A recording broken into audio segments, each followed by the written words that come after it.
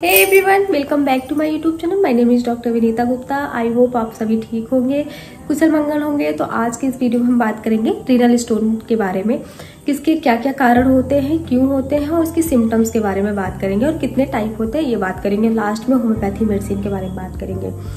तो इस वीडियो को देर ना करते हम स्टार्ट करते हैं। वीडियो स्टार्ट करने से पहले अगर आप मेरे चैनल पर नए हैं तो please do like share and subscribe my YouTube channel और प्रेस द बेल आइकन जिससे कि मेरा नोटिफिकेशन आपको सबसे पहले मिल जाए। रिनल स्टोन रिनल स्टोन को किडनी की पथरी, गुर्दे की पथरी रिनल कैलकुलाई नेफ्रोलिथियासिस और कोलिलिथियासिस भी कहते हैं। यह मिनरल और नमक की ठोस जमावट होती है। ये एक, इसका आकार एक रेत की तरह जितनी छोटी और एक गोल्फ के बॉल की जितनी बड़ी भी हो सकती है। किडनी का काम होता है कि हमारी बॉडी में अपशिष्ट पदार्थ और तरल पदार्थ की मात्रा अधिक हो जाए तो शरीर से इसको बाहर निकालने का काम करता है। खून में अशुद्धि, खून को साफ़ करना, पेशाब का बनाना भी किडनी का काम होता है। अगर हमारे शरीर में अधिक मात्रा में पोटेशियम और कैल्शियम और खनिज पदार्थ होने लगते हैं तो जो अपशिष्ट पदार्थ होते हैं, जो बचे हुए होते हैं, वो बाहर नहीं निकल पाते, जिससे वो धीरे धीरे धीरे धीरे जम के वो छोटे स्टोन का रूप धारण कर लेते हैं, जो कि धीरे धीरे अगर दवा ना करे तो धीरे धीरे ये बड़े होकर प्रॉब्लम क्रिएट करते हैं। अगर स्टोन की साइज़ छोटी होती है तो वो यूरिन के थ्रू बाहर निकल जाते हैं। अगर स्टोन की साइज़ फाइव एम से ऊपर होती है फाइव एम होती है तो उसको निकलने में दिक्कत होती है, जिसकी वजह से दवा खानी पड़ती है और धीरे धीरे आकार में छोटे होते हैं और फिर टूट के वो यूरिन के थ्रू बाहर निकल जाते हैं। अगर खनिज पदार्थ होते हैं, जैसे कि रिनल स्टोन जो होते हैं स्टोन जो होते हैं, वो खनिज पदार्थ होते हैं जो कि किडनी में जो हमारी यूरिनरी ट्रैक होती है, वहाँ पे देखने को मिलती है जब ये ज़्यादा स्टोन होने लगते हैं अगर यूरिनरी ट्रैक में फंस जाते हैं तो उसमें बहुत सारी समस्याएँ देखने को मिलती हैं। लोअर एब्डोमेन में दर्द देखने को मिलते हैं, साथ में इनमें यूरिन यूरिन पास करते टाइम बहुत दर्द होते हैं, और इनको उल्टी जैसा भी फील होता है। स्टोन रिनल स्टोन कुछ अनुवांशिक रीजन की वजह से होते, कुछ पर्यावरण के वजह से होते, कुछ डाइट की वजह से होते हैं, कुछ डाइट ऐसी होती है जिसकी वजह से स्टोन बनते, बनने लगते हैं। अगर हमारी बॉडी में अधिक मात्रा में कैल्शियम पोटेशियम फॉस्फोरस और ऑक्जेलिक एसिड और यूरिक एसिड की मात्रा अधिक हो जाती है तो वहाँ पे स्टोन बनना शुरू हो जाता है। पानी कम पीते हैं डिहाइड्रेशन की शिकायत होती है मिनरल्स की कमी होती है जिसके शरीर में यूरिन में केमिकल्स ज़्यादा होते हैं, साथ में जंक फ़ूड जो ज़्यादा यूज़ करते हैं, पानी कम पीते हैं, ऐसे लोगों को इन सारी समस्याओं का सामना करना पड़ता है और कैल्शियम विटामिन डी की या कैल्शियम की अधिकता की वजह से भी ये सारी दिक्कतें देखने को मिलती है। नेक्स्ट हम बात करेंगे सिम्टम्स के बारे में कि क्या सिम्टम्स होते हैं।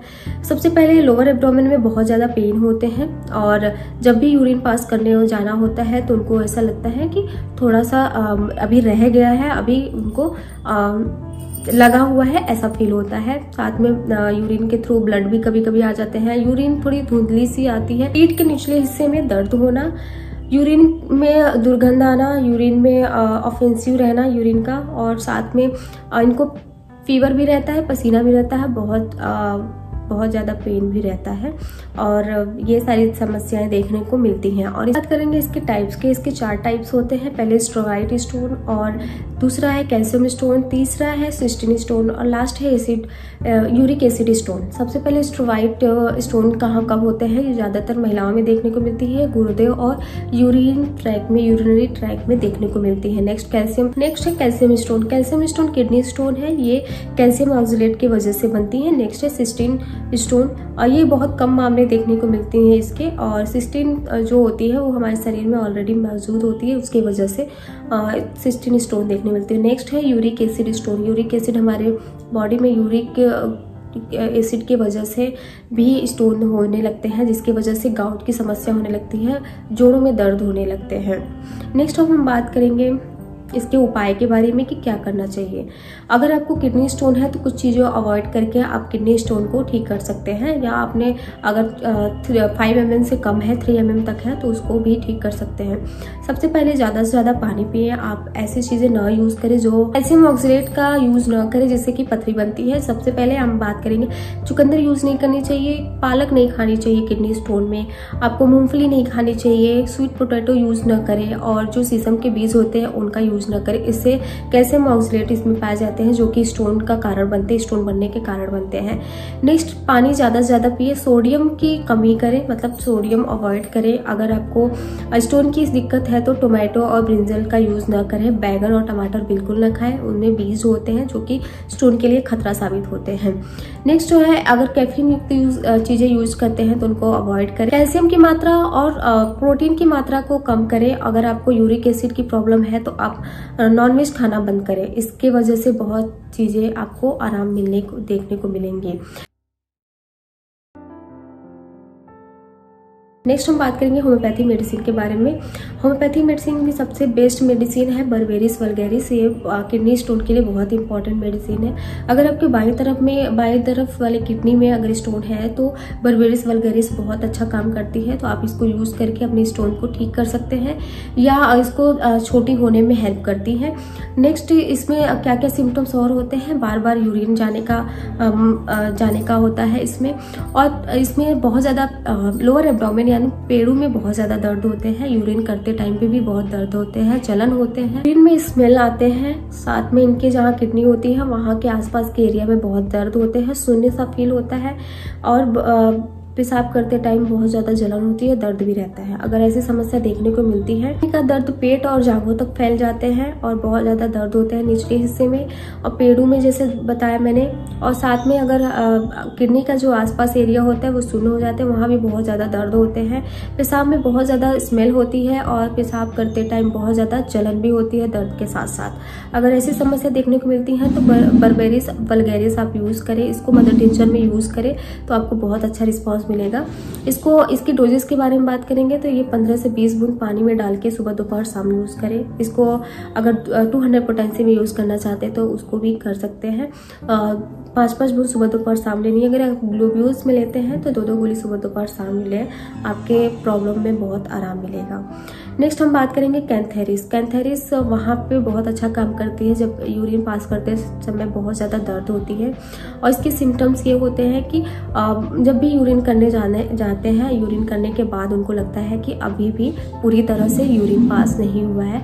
अगर ऐसी समस्या है तो कैंथेरिस बहुत अच्छा काम काम करती है। अगर आपके यूरिनेशन टाइम पे मिक्सुरेशन टाइम पे बार बार आपको जलन होती है, बार बार जाने के ऐसा लगता है कि बार बार मुझे जाना पड़ेगा यूरिन करने के लिए तो वहाँ पे बहुत अच्छा काम करती है। अगर आपके लोअर लेफ्टोमिन में दर्द हो रहे हैं किडनी स्टोन के वजह से आपको मिचली सी आती है और बहुत ज़्यादा पेड़ों में दर्द रहते हैं तो वहाँ पे बहुत अच्छा काम करती है कैंथेरिस आप कैंथेरिस यूज़ करें, आपको बहुत अच्छा रिस्पॉन्स मिलेगा। कैंथेरिस में बार बार पेशाब करने की इच्छा होती है, और जब भी इनको लगता है बहुत तेज़ी से लगती है, और साथ में इनको इन इनकी जो यूरिन का कलर होता है वो जेली लाइक होने लगते हैं और उसमें आ, कलर भी रेड कलर के होने लगते हैं यूरिन और किडनी के आसपास के दर्द वो आ, जो मेल होते हैं उनके।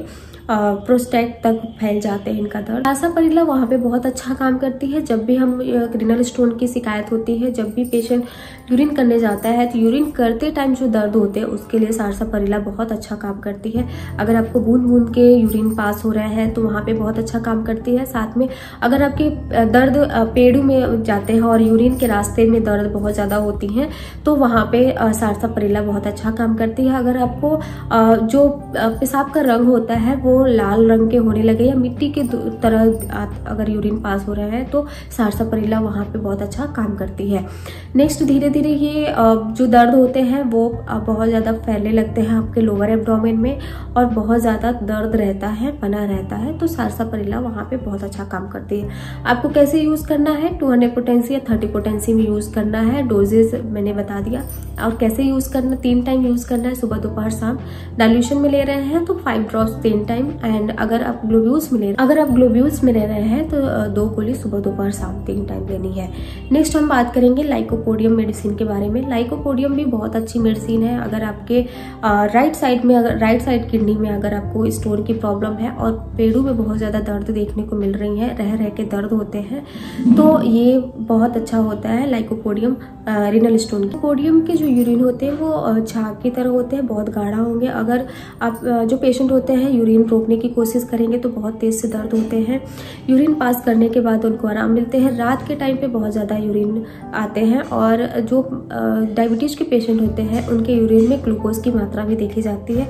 दाई किडनी में बहुत दर्द होते हैं, जो कि वो धीरे धीरे वो आपके लोअर एब्डोमिन में फैलने लगते हैं और अगर जो लोग, जो मेल होते हैं, उनके प्रोस्टेट ग्लैंड तक उनके दर्द होने लगते हैं।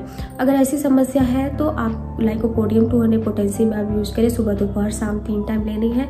और इस डोजेज आपको मैंने बता दिया। नेक्स्ट है, अगर आप ग्लोब्यूल्स में लेते हैं तो दो दो गोली सुबह, दोपहर, शाम। और अगर आप डाइल्यूशन में लेते हैं तो फाइव ड्रॉप्स लेना है तीन टाइम आज की वीडियो में बस इतना ही। अगर आपने मेरे चैनल को अभी तक सब्सक्राइब नहीं किया है तो जाकर सब्सक्राइब करें, बेल आइकन दबाना ना भूलें और लाइक का बटन ज़रूर दबाएँ और अगर आपको अच्छा लगता है तो आगे शेयर ज़रूर करें। तब तक के लिए